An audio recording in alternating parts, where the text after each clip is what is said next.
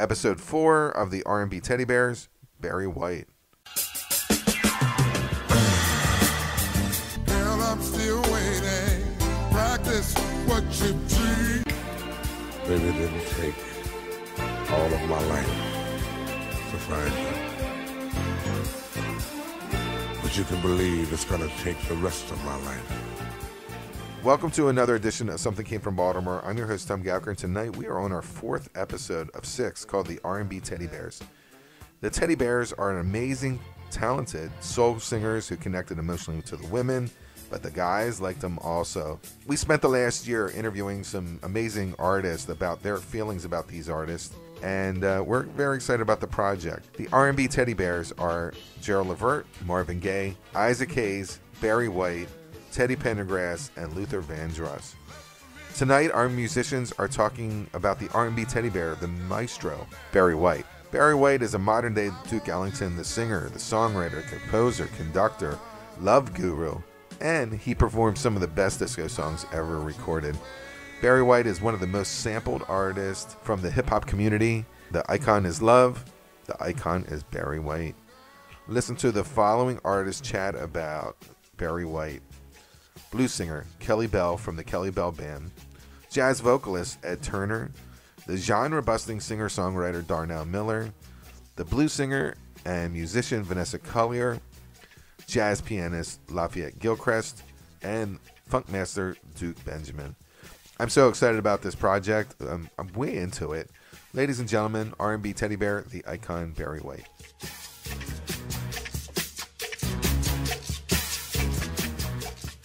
Oh my God, Barry White. Um, well, he had that Love Unlimited orchestra, and he was a maestro. You know, he was a real maestro, man. You know, he could really. He, first of all, he could really play piano. He could really play. He, he, you know, he could really play. Now, you know, some guys can play at the instrument and they use it for writing. So no, he could really play. That's the first thing in my mind when I listen to him. And he's a natural. He's just a natural composer. You know, he's more than a songwriter. He's a composer in that he thinks. See, he's a thinking man. He thinks about music. He thinks about music from the floor to the ceiling. You know, of, of music, and um, the first thing I the first thing I heard by him was a dance number, um, "Ecstasy." You know, that was I, I loved it because um, uh, I was a little kid. He was on Soul Train. You know, he had the he had a white tuxedo on, and uh, he just it just looked like it just looked like he he he came off of a cloud to entertain the people. you know, uh, ecstasy that's probably a good one too. When you lay down next to me, mm-hmm. ooh, girl, it's everything. Yeah. When we met, it wasn't quite clear to me what you had in store was there for only me. Surely you know you took me by surprise. When I turned and looked, I saw that message in your eye. There you were, out there on the floor. The way you move, girl, only made me want you more. I did not know you had me hypnotized to the movement of your body dancing in my eyes. I know I had to hold you and make you mine. Don't want to control you. Just have a good time in ecstasy. When you lay down next to So, what do you want to do? I'm here, baby. I'm ready, baby. I'm waiting on you. But this album, I mean, it literally came to me. It came out of nowhere. It was like, okay, I, we started here practice what you preach, but I, you know, it's like, wait a minute, yo, that's, you know what I mean? Like, yo, they just he fit like like you're right. I think he faded in and out. I think they just found the formula on this one. Yeah, practice what you preach Yeah. is, is the Gerald Levert song. Yes, he Right. wrote that, You know, which is one of my favorite songs. it's yeah, it's a great song, and it, I, Yeah. I don't. I've heard Gerald do the version. I actually prefer Barry White's version. Because, Of course. Yeah, it's because it, it's it is Barry White's song. Like he just Yeah. took it, took it and grabbed it, made it his own. Never gets old. It's a Um, yeah, I do. I, have an album. The album I picked is, uh, you know, because I'm, I'm, you're old and I'm young. that's right. the album that I picked was uh, The Icon of Love. Oh wow.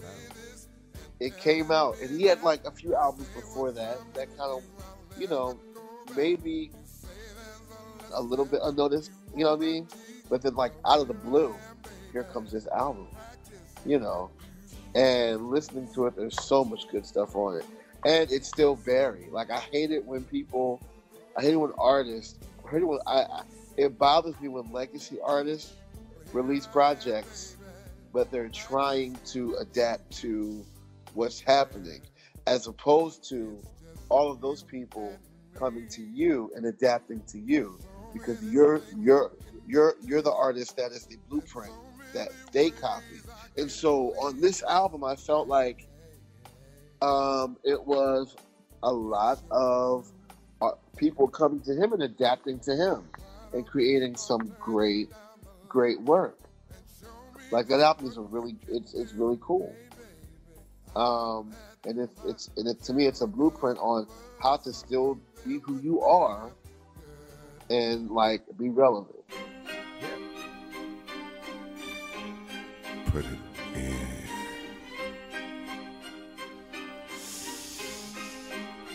In. Take my love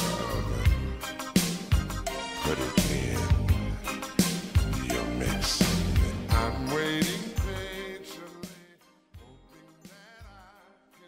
He had a non-singing voice and he made it work.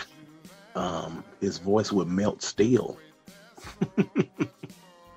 Um, you would you nobody won't mention him as one of the greatest vocalists but man he made it work. He made it work the one and only that's that's because of that voice that makes him the one and only, um, irreplaceable. He, he, um, he's yet to be replaced. It- but boy, what he did with it. Man, he can sing. Yeah, he can sing. He can. He can. Um, He can Whisper. shake the speaker. yeah, he can growl. Um, he Yeah. had so much going on. Go. Do you have your list? I do have a, I do have my list. Let's do this first. Like when you think of Barry White, what comes to your mind? I think of I think of love. I think of love. I think of um some like again iconic. Um, I think of I think of someone who like was the best version of himself that he could t- possibly be, and that it can't never be duplicated. Like we'll never have that that aura, everything he put out the, that will never like people say this a lot but that will never ever happen that's gone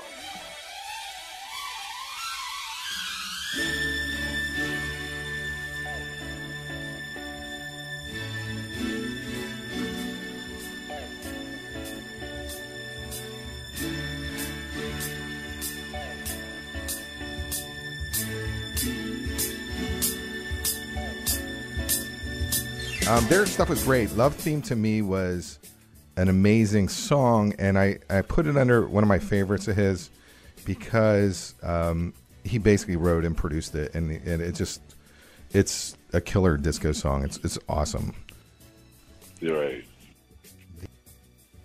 And you know, I, I, I tell you something that's a little bit. The first time I heard that um, that instrumental, "Love Unlimited" theme, there had been a shooting in the apartment complex where I used to go uh, during the day uh, after school, and there had been a shooting, and we saw it was a green Cadillac. It was a green Cadillac with white interior seats, and the windows were all busted out, and the seats were all bloody. And I remember, I, think somebody had a little radio playing or whatever, but that theme was playing in the background. And for some reason, whenever that comes on, that image like just comes in my mind. It was very, yeah. There was so that, that you know sometimes when a song, sometimes when I don't know if you want to use this for the podcast, but sometimes when a song hits you, man, it, you know, like you're forever wedded to that sound in that moment where it hits, where it hits you, you know. No, but Barry White, you know, you know, I I think a lot of his music was, I guess, sort of like, or early on, sort of like mood music. Mm-hmm. You know, I think it was, you know, something definitely geared toward the female population. Yeah, I, I know that he, if if I'm not mistaken, like this Love Unlimited Orchestra, that he basically wrote all the music for and kind of commanded. I mean, had a had a major amount of artists that became superstars. Ernie Watts, Kenny G, Lee Ritenour, Wah-Wah Watson, Ray Parker Jr. and, and uh, Nathan East all came out of that. I mean, that's like talent today. You know, everybody's talking about about how different I am. I guess they can notice the change, the way I walk, the way I talk. Believe it or not, baby, I can feel it here inside of me.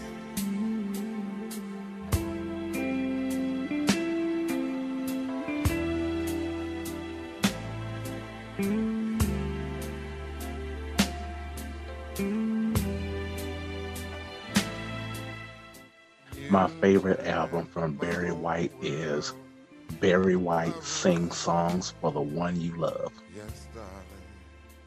Absolutely, absolutely favorite a favorite album by him. Um, he has a good number of just press play and walk away albums where the albums are unskippable, and that's one of um, the albums. Um, and that um, album had um, a couple of his best songs ever on that album, um, which comes to my one of my top three songs is off that album, and that's "Playing Your Game, Baby." Um, you can't you can't talk about Barry White and not mention that song. It's signature Barry White and um, I love the violin play, which you notice that each song Barry White ever done all had violins in it. Um, yeah, yeah. So um, Barry White sings songs for the one you love is my favorite album. My top three songs is "Playing Your Game, Baby," for why I just explained, and you turned my whole world around. Um, that song um, makes me get emotional, wondering if I would ever encounter somebody that makes me that would make me feel that way.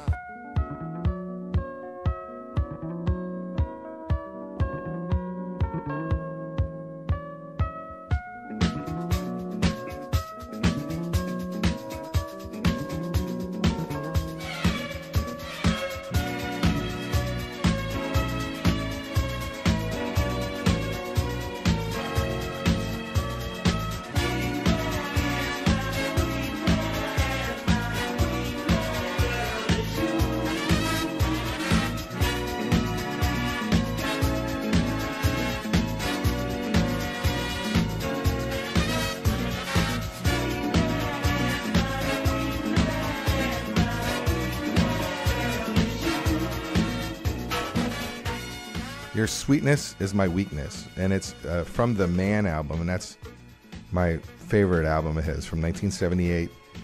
And I picked that because it just had so many really good songs in it. Um, just the way you are, he did. Uh, it's only love doing its thing, which Simply Red did, and uh, uh, Fa La La La La means I love you. So he does those songs on that album, and um, it, it's just a great, great recording. I think uh, in regards to the musicianship, that would be the battle between Barry White and Isaac Hayes, because uh, uh, Barry White, you know, he wrote a lot of orchestral pieces. Barry White, gosh, I can't think of an album that makes sense, but I mean, your sweetness is my weakness.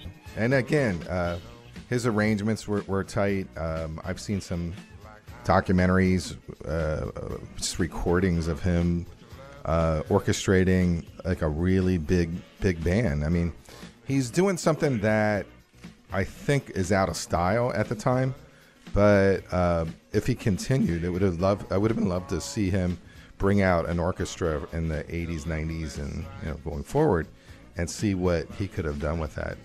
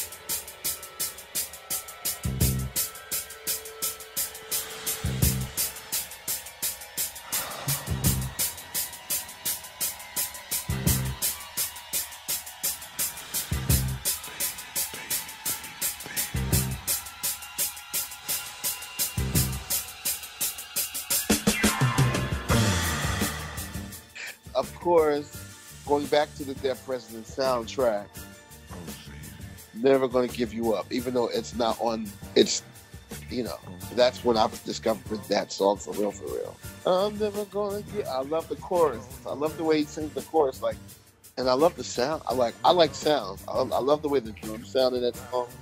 So solid. I've heard people say that too much of anything is not good for you, baby. But I don't know about that. As many times as we've loved and we've shared love and made love, it doesn't seem to me like it's enough. It's just not enough, baby. It's just not enough. Oh, oh, baby.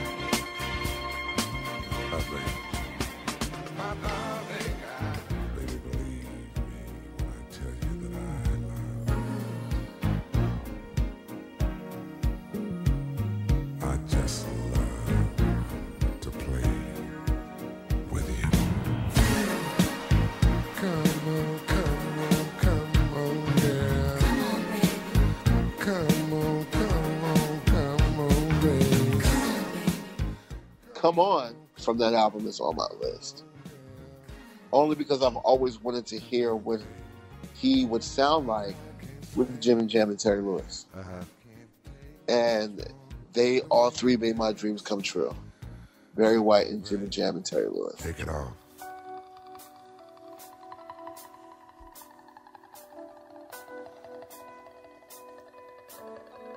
Baby, take it all off.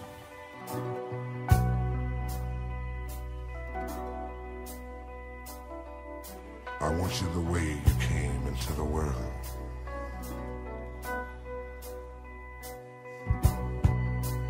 I don't want to feel no clothes. I don't want to see no panties. And take off that Brazil, my dear.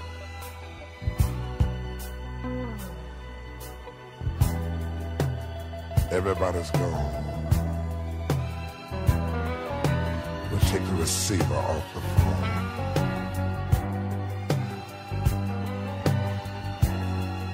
Because baby, you and me, this night, we're gonna get it on. To love serenade.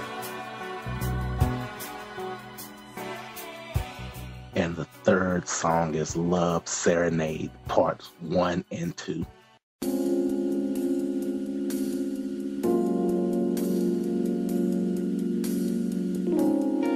Tell me a secret. Because tonight I want to learn all about the secrets in your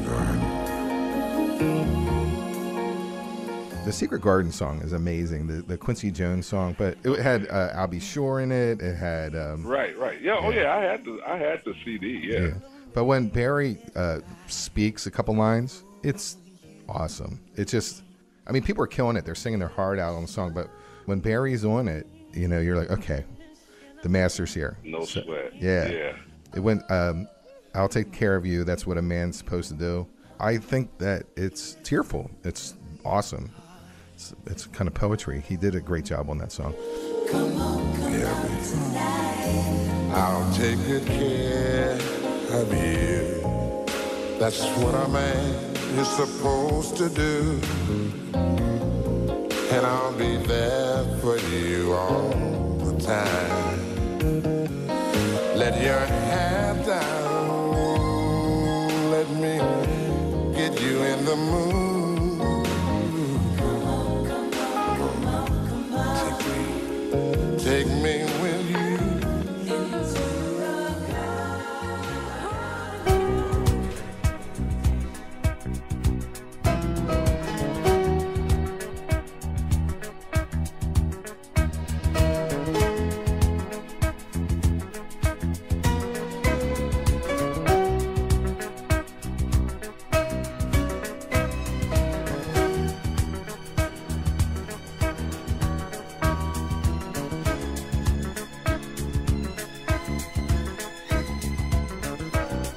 Thank you for listening to the R&B Teddy Bears. I am your host Tom Gouker. If you're listening to Something Came from Baltimore, please go on Facebook and follow my guests Kelly Bell, Ed Turner, Darnell Miller, Vanessa Collier, Lafayette Gilchrist, and the Funk Master Duke Benjamin. Episode five of the R&B Teddy Bears, Teddy Pendergrass.